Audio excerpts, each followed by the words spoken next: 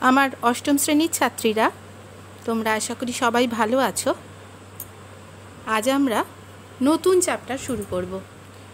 এর আগে পর্যন্ত যতগুলো ক্লাস আমরা ধারাবাহিকভাবে করেছি, সবকটা ক্লাসের মধ্যে দিয়ে আমরা সেকেন্ড ইউনিটের পড়া অবধি কমপ্লিট করতে পেরেছি। এবার আমরা, আমি আগের দিন তোমাদের কতগুলো কোয়েশ্চেন দিয়েছিলাম, প্রায় পঁয়ত্রিশটা। এই কোয়েশ্চেনগুলো নিয়ে তোমরা আলোচনা করতে পারো। ক্লাসের মাঝখানে, ক্লাসে আগে তোমাদের এই ভিডিওটা শুনতে হবে, দেখতে হবে, তারপর তোমরা আমাকে কোয়েশ্চেন করতে পারো। তবে কোয়েশ্চেন অবান্তর করবে না। আচ্ছা এবারে আমি তোমাদের নতুন অ্যানুয়ালের পার্টের যে টপিকগুলো রয়েছে, পরপর সেগুলো ক্লাসের মাধ্যমে পড়িয়ে দেব। প্রথমে যেটা পড়াবো সেটা হচ্ছে মেঘ ও বৃষ্টি। সামনেই তোমরা একটা ছবি দেখতে পাচ্ছ। এবং সেই ছবিতে অনেক কিছু শব্দ নতুন নতুন না হলেও আবার নতুন করে শিখতে হচ্ছে। তোমরা মেঘ দেখতে সকলেই ভালোবাসো। বর্ষাকালে কিংবা গরমের দিনে প্রচণ্ড গরম পড়েছে, তখন মেঘের দিকে তাকিয়ে থাকো। কখন একটু বৃষ্টি আসবে। সব মেঘে কি বৃষ্টি হয়? সব মেঘে তো বৃষ্টি হয় না। আবার অনেক মেঘ থেকে কালো হয়ে যাওয়া মেঘগুলোকে আমরা দেখতে পাই, বৃষ্টি আসছে বেশি করে। আমরা সাদা আর কালো দু রকমের মেঘ ভালো মতোই চিনতে পারি সবাই। কিন্তু বাদবাকি মেঘেদের কি করে সৃষ্টি হচ্ছে, কি করে আমরা বাড়িতে বসে মেঘ বানাতে পারি? বা মেঘগুলো কত রকমের হতে পারে? আকাশে ভেসে বেড়ানো মেঘগুলোকে আমাদের চিনতে পারব কি করে? বৈশিষ্ট্য ধরেই সেগুলো আমরা জানব। আগে পড়ব, মেঘ কি করে সৃষ্টি হয়? মেঘ আসলে কি? বায়ুর মধ্যে থাকা জলীয় বাষ্প ঘনীভূত হয়ে ধূলিকণাকে আশ্রয় করে অত্যন্ত সূক্ষ্ম সূক্ষ্ম জলকণা ও তুষারকণা রূপে ভেসে বেড়ায়। এগুলোই হচ্ছে মেঘ। এক কথায়, বাতাসে এগুলো ভাসমান এবং ভাসমান ওই জমাট বাঁধা জলকণার সমষ্টিই হচ্ছে মেঘ বা ক্লাউড আচ্ছা আমরা কি বাড়িতে মেঘ বানাতে পারি? আমরা কিন্তু হাতে কলমে না করলেও সবাই কিন্তু শীতকালে বাড়িতেই মেঘ বানিয়ে ফেলি। বাথরুমে যখন গরম জল নিয়ে তুমি স্নানে যাও, বাথরুমের দরজা জানলা তো বন্ধই থাকে এবং সেই অবস্থায় গরম জলের বালতি বাড়ি বাইরের বাথরুমে এমনি ঠান্ডা আবহাওয়া, কারণ বাইরের, তুমি যখন গরম জলে স্নান করছ তার মানে বুঝতে হবে আবহাওয়া বেশ ঠান্ডা। সেটা গিজার অন করেও করতে পারো, আবার গরম জলের বালতি থেকে ধোঁয়াটা গরম জল নিয়ে গিয়েও করতে পারো। এবং সেই অবস্থায় ঠান্ডা বাথরুম বা ঠান্ডা আবহাওয়ার মধ্যে গরম জলের ধোঁয়া আস্তে আস্তে দেখতে পাও যে কীরকম ঝাপসা হয়ে গেছে। বিশেষ করে বাথরুমে যদি কোনো বড় আয়না লাগানো থাকে, তাহলে তুমি সেটা পরিষ্কার বুঝতে পারো, আয়নাটা কীরকম ঝাপসা হয়ে গেছে, তুমি তোমাকে পরিষ্কার দেখতেই পাবে না। সেটা কীভাবে সম্ভব হলো? আসলে গরম জল, গরম জলের থেকে ধোঁয়া উঠে সেই ধোঁয়ার মধ্য দিয়ে সূক্ষ্ম সূক্ষ্ম জলকণা বাষ্পের আকারে বাতাসের ঠান্ডা আবহাওয়া যেটা ছিল বাথরুমের মধ্যে, তার সাথে মিলেমিশে গিয়ে ভাসমান হয়ে চারপাশে পুরো বাথরুম জুড়ে একটা অঞ্চলের মতো অবস্থান করছে। কাজেই আমরা খানিকটা মেঘ বানানোর মতন পরিস্থিতি তৈরি করতেই পারি, তাই না? এবার চলো আমরা মেঘ প্রকৃতিতে পর্যায়ক্রমে কী করে সৃষ্টি হয় সেটা জানব। আবহবিজ্ঞানীরা বলছেন মেঘের পর্যায় কয়েকটা। প্রথমে, সূর্যের তাপে জলভাগের জল বাষ্পীভূত হয়। এখানে দেখতে পাচ্ছ, এখানে জলাশয় রয়েছে, নদী রয়েছে এবং এই জল সূর্যের তাপে উপরের দিকে উঠে যাচ্ছে। তীর চিহ্নগুলো খেয়াল করবে, ওপরের দিকে উঠে যাচ্ছে। এবং উঠে যাওয়ার পর এই যে প্রক্রিয়াটা, এটাকে বলছি আমরা বাষ্পীভবন। প্রচণ্ড উষ্ণতায় জল যখন সূর্যের তাপে বলো বা তাপ উষ্ণতার প্রভাবে জলীয় বাষ্পের আকারে ঊর্ধ্বমুখী হয়, সেই যে প্রক্রিয়া, তাকে বলি আমরা বাষ্পীভবন। এখানে বাষ্পীভবনের সাথে সাথে উদ্ভিদের দেহ থেকেও কিছু জল ছাড়ছে। যাকে আমরা বাষ্পীয় প্রসেদন বা ট্রান্সপিরেশন বলে থাকি।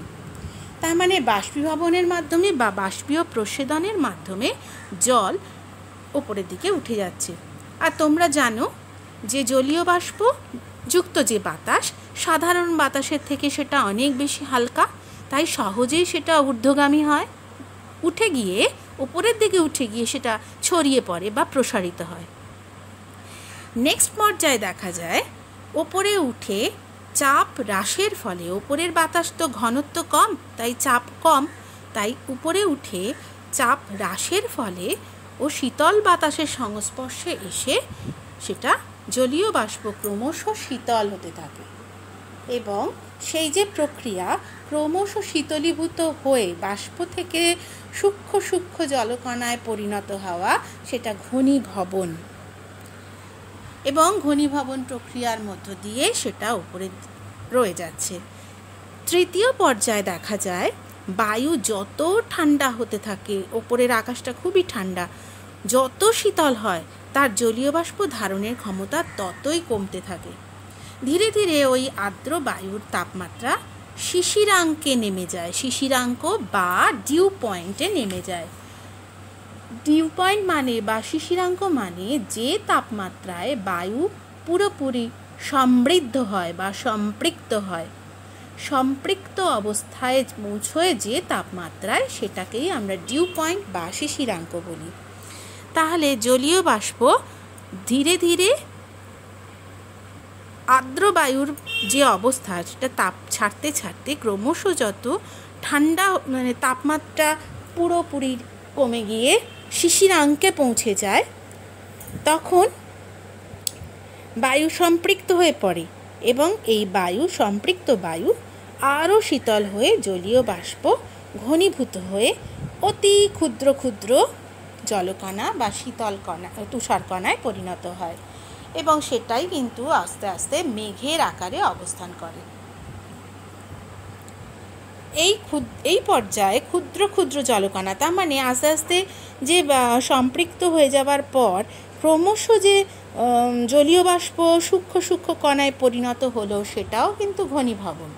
সেই প্রক্রিয়াটাও ঘনীভবন, ক্রমশ ঘনীভূত হয়ে সূক্ষ্ম সূক্ষ্ম কণা কিংবা তুষার কণায় পরিণত হয়েছে। এই নেক্সট যে পর্যায়, তাতে ক্ষুদ্র ক্ষুদ্র জলকণা তুষারকণা এগুলো বাতাসে যে সমস্ত ভাসমান ধুলো কণা রয়েছে, ছাই কিংবা নুনের কণা রয়েছে বা লবণ কণা, কার্বন কণা রয়েছে, সেগুলো কঠিন কণাগুলোকে অবলম্বন করে ভেসে বেড়াতে পারে। এরূপ অসংখ্য ভাসমান জলকণা বা তুষারকণা সম্মিলিতভাবে মেঘ সৃষ্টি করে।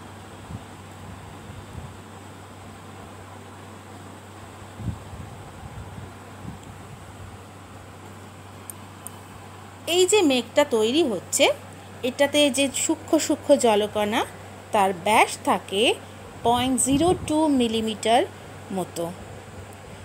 সাধারণত বায়ুমণ্ডলের ট্রোপোস্ফিয়ারেই দেখতে পাওয়া যায় মেঘের অবস্থান।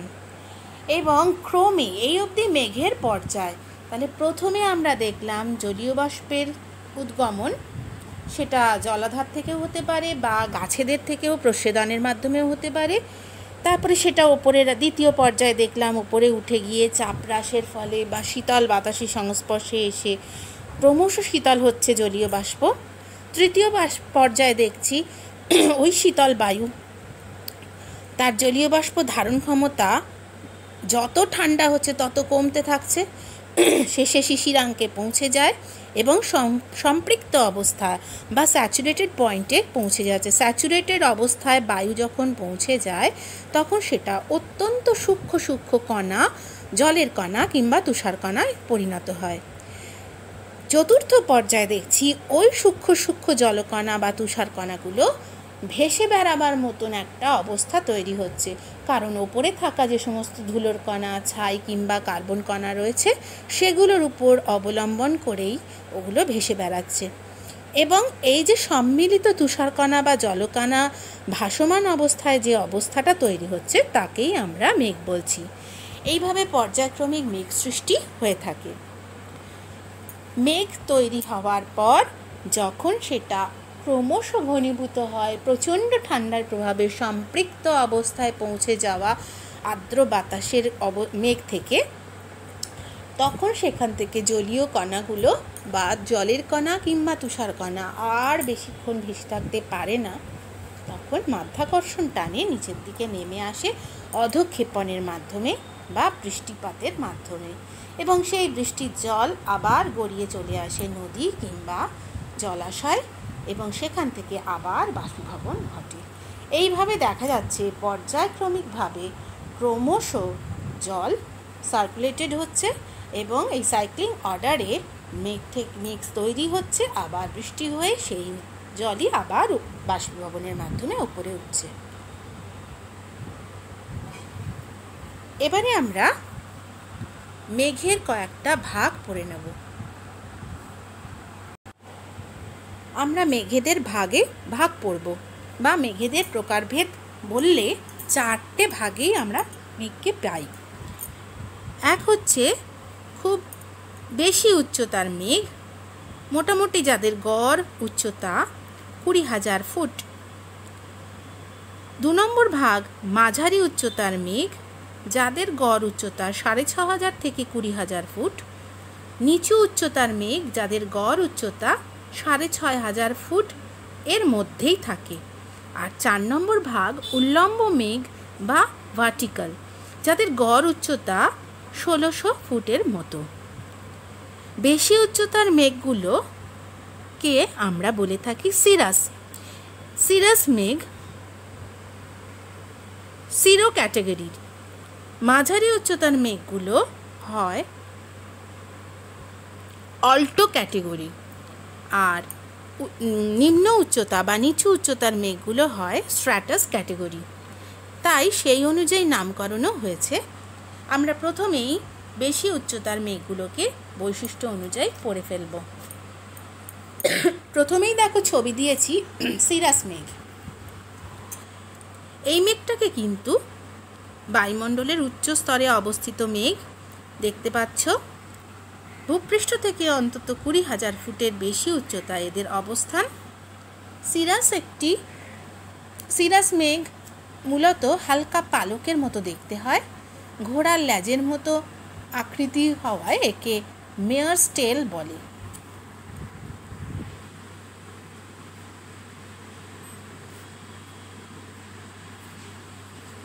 মেয়ার স্টেল বলে।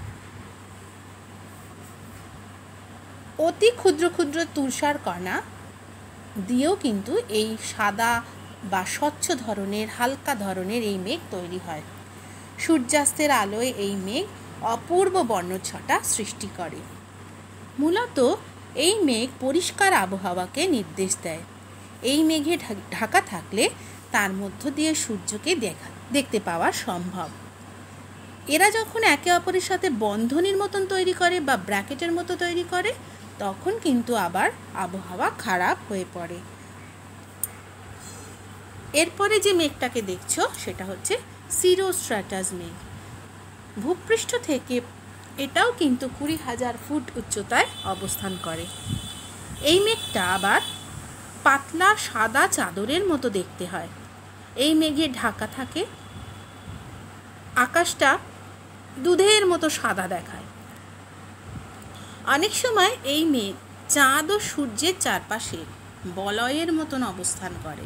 দেখতে পাচ্ছ এখানে যে ছবিটা রয়েছে, সেখানে কিন্তু একটা বলয়ের মতন মেঘটা অবস্থান করছে সূর্যের চারপাশে। এই মেঘ ঝড়ের সংকেত বহন করে। এরপরে চলে যাই অন্য মেঘ, সিরোকিউমুলাস মেঘ। ভূপৃষ্ঠ থেকে এটাও কিন্তু কুড়ি হাজার ফুটের অধিক উচ্চতায় অবস্থান করছে, অর্থাৎ এটাও কিন্তু হাই ক্লাউড বা বেশি উচ্চতার মেঘ। তবে এই মেঘের বৈশিষ্ট্য হচ্ছে, এই মেঘ পেঁজা তুলোর মতো সারা আকাশ জুড়ে অবস্থান করে। অনেকটা ম্যাকারেল মাছের পিঠের মতো ম্যাকারেল মাছের পিঠটা যেরকম ফাটা ফাটা মতন হয়, ছাড়া ছাড়া মতো হয়, সেই রকম এই মেঘে আকাশ যখন ঢেকে থাকে, তখন আমরা বলে থাকি ম্যাকারেল স্কাই। এটা ছায়াবিহীন, হালকা সাদা মেঘের স্তর। অতি সূক্ষ্ম তুষারকণা দিয়ে গঠিত ছোট ছোট সাদা মেঘ ঢেউয়ের মতো আকাশে ভেসে বেড়ায়। সিরোকিওমুলাস মেঘের উপস্থিতি পরিষ্কার আবহাওয়াকেই নির্দেশ করে।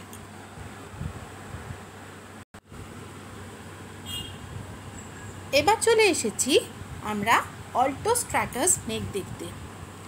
মাঝারি উচ্চতার এই মেঘের গড় উচ্চতা সাড়ে ছয় হাজার ফুট থেকে কুড়ি হাজার ফুটের মধ্যেই অবস্থান করে। এরা মিডিয়াম ক্লাউড বা মাঝারি উচ্চতার। এই মেঘগুলোর মধ্যে অল্টোস্ট্র্যাটাস খুব উল্লেখযোগ্য। সামনে ছবিটাতে দেখতে পাচ্ছ ধূসর কিংবা নীল রঙের হয় এই মেঘটা। এই মেঘ দেখতে অনেকটা তন্তুর মতো। দেখতে পাচ্ছ ভীষণ ফাইব্রাস এই মেঘের মধ্য দিয়ে সূর্যের, সূর্যকে অনেকটা অনুজ্জ্বল দেখতে পাওয়া যায়। অনুজ্জ্বলভাবে যেন সূর্য আছে বোঝা যায়। এই মেঘে ঝড়ের সূচনা করে। তাছাড়া সাধারণ এই মেঘের মাধ্যমে এক টানা বৃষ্টিপাতের পূর্বাভাস দেয়। এরপরে চলে এসো অল্টো কিউমুলাস মেঘ। এই মেঘ, এটাও মাঝারি উচ্চতার মেঘ। এই মেঘ সাধারণত চ্যাপটা ও গোলাকার ধরনের হয়। সাদা থেকে ধূসর রঙের হয়। এখানে মেঘটা আমি সাদা দেখতে পেয়েছি। এই মেঘ আকাশে রেখা কিংবা ঢেউয়ের মতো অবস্থান করে। এই মেঘে ফাঁক দিয়ে নীল আকাশকে স্পষ্ট দেখতে পাওয়া যায়। এই মেঘ সূক্ষ্ম ও মসৃণ গোলাকার পশমের গুচ্ছের মতো দেখতে হয়। এই মেঘের মাধ্যমেও কিন্তু পরিষ্কার আবহাওয়া সূচিত হয়। এবার চলে এসেছি নিচু উচ্চতার মেঘ বা স্ট্র্যাটাস মেঘের ক্যাটেগরিগুলোতে। স্ট্র্যাটো কিউমুলাস সামনেই দেখতে পাচ্ছ ছবিটা, এটা হচ্ছে নিচু উচ্চতা বা লো ক্লাউড এই মেঘের গড় উচ্চতা সাড়ে ছয় হাজার ফুটের ভূপৃষ্ঠ থেকে অবশ্যই সাড়ে ছয় হাজার ফুটের মধ্যেই। এই মেঘ স্তূপের মতো এবং স্তরে স্তরে সজ্জিত। এই মেঘ দেখে মনে হয় যেন স্তরগুলো গড়িয়ে গড়িয়ে চলছে। তাই না? মনে হচ্ছে না ঢেউ খেলে খেলে চলে যাচ্ছে। ঠিক বাম্পারের মতো, তাই একে বাম্পি ক্লাউড বলে। এই মেঘ ধূসর কিংবা কালো রঙের হয়। মাঝ আকাশের অল্টাকিউমুলাস মেঘ আরও ভারী হয়ে নিচে নেমে এই মেঘ তৈরি করে। স্ট্র্যাটোকিউমুলাস মেঘ সাধারণত পরিষ্কার আকাশ নির্দেশ করে, কিন্তু শীতকালে নাতিশীতোষ্ণ অঞ্চলে এই মেঘ সমস্ত আকাশকে ঢেকে রাখে এবং বৃষ্টিপাত ঘটায়। এবার চলে এসো স্ট্র্যাটাস আর এক ধরনের মাঝা নিচু উচ্চতার মেঘে দেখতে। এই মেঘ সাদা থেকে ধূসর রঙের হয়। এই মেঘ ঘন কুয়াশার মতো স্তর তৈরি করে এবং সমস্ত আকাশকে ঢেকে রাখে। যখন শীতকালে বিমান চালকরা কিংবা পাহাড়ে উঁচু অংশে পর্বতারোহীরা পর্বতে আরোহণ করতে যান, তখন কিন্তু অস্পষ্ট এই মেঘের জন্য পরিবেশ এত অস্পষ্ট হয়ে যায় যে মাঝে মাঝেই বিপদের সামনে এসে পড়েন। তাদের ভীষণই অসুবিধা হয়। এই মেঘ থেকে অবশ্য গুড়ি গুড়ি বৃষ্টিপাত তৈরি হয়। এবার নিম্ব স্ট্র্যাটাস মেঘ নিয়ে আলোচনা করব।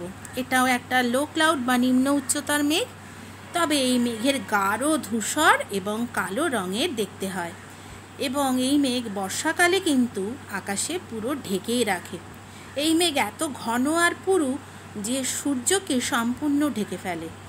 এবং এই মেঘে বজ্রপাত পর্যন্ত বজ্রপাত হয় না। কিন্তু মেঘের নির্দিষ্ট কোনো আকার না থাকলেও বৃষ্টিপাতের ইঙ্গিত করে। এই মেঘ দেখে বুঝতেই পারছ খারাপ আবহাওয়াকে নির্দেশ করে এবং বর্ষাকালে এই মেঘ দেখতে পাওয়া যায়, একটু আগেই বললাম, এই মেঘ থেকে অবিরাম গতিতেই বৃষ্টিপাত হতে থাকে।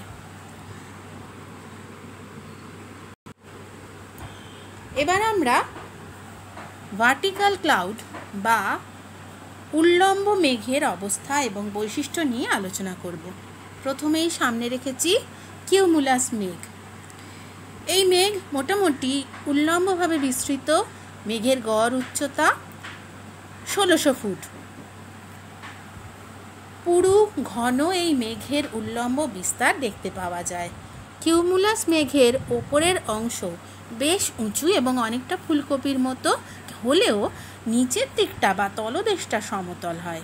এই মেঘের নিম্নাংশের রং কালো আর উপরিভাগের রং সাদা। জলীয় বাষ্পপূর্ণ বায়ু ওপরে উঠে ঘনীভূত হয়ে কিউমুলাস মেঘের সৃষ্টি হয়। মেঘের শীর্ষদেশ দিয়ে সূর্য সূর্যের আলো উজ্জ্বলভাবে দেখতে পাওয়া যায়। কিউমুলাস মেঘের উপস্থিতি সাধারণত পরিষ্কার আবহাওয়াকে নির্দেশ করে। এবার চলে এসো কিউমুলোনিম্বাস কিউমুলোনিম্বাস মেঘ। দুটো পরপর ছবি দেখতে পাচ্ছ, তিনটে পরপর ছবি তোমরা দেখতে পাচ্ছ, এগুলো তিনটেই কিন্তু কিউমুলোনিম্বাস মেঘ।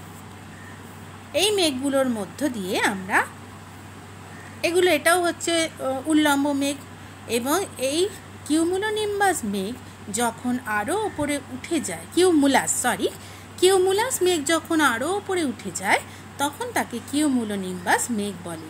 এই মেঘ ভূপৃষ্ঠ সংলগ্ন বায়ু থেকে বায়ুস্তর থেকে প্রায় বারো হাজার ফুট পর্যন্ত, উচ্চতা পর্যন্ত বিস্তৃত হতে পারে।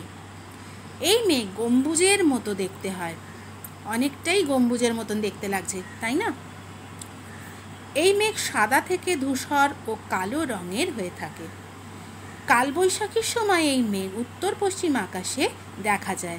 এই মেঘের ওপরের দিকটা চ্যাপ্টা ধরনের। কিন্তু তলদেশটা সমতল প্রকৃতির হয়। এই মেঘ প্রচণ্ড বজ্রবিদ্যুৎ সহ বৃষ্টিপাত ঘটায় বলে এই মেঘকে থান্ডার ক্লাউড বা বজ্র মেঘ বলে। কিউমুলোনিম্বাস মেঘ থেকে বজ্রবিদ্যুৎ সহ প্রচণ্ড ঝড় বৃষ্টি তৈরি হয়। কখনো কখনো এই মেঘ থেকে শিলাবৃষ্টিও হয়। সামনেই তোমাদের যে ছবি দুটোকে একসাথে করে দিয়েছি, ছবিগুলো দেখে চিনতে পারছ। প্রথমে বললাম, কিউমুলাস মেঘ। সেটাই যখন আরও ওপরে উঠে যায়, তখনই হচ্ছে কিউমুলো নিম্বাস মেঘে পরিণত হয়। আজকে ক্লা, মেঘের বৈশিষ্ট্যগুলো সম্পর্কে জানলাম। তোমরা এবার চেষ্টা করবে এই মেঘগুলোকে আকাশে। যখন যেমন সপ্ত সব মেঘ তো একসাথে দেখতে পাওয়া সম্ভব নয়, কিন্তু তোমরা আকাশ লক্ষ্য রাখবে। এবং এটাই তোমাদের হোমওয়ার্ক মেঘের বৈশিষ্ট্য অনুযায়ী মেঘগুলোকে চিনতে পারা। যে কটা মেঘ তুমি নিজে চিনতে পারছ, সেগুলো খাতায় নথিভুক্ত করবে। কেমন? আজ এই পর্যন্ত, পরের দিনে ক্লাসে আমরা অধক্ষেপণ নিয়ে আলোচনা করব।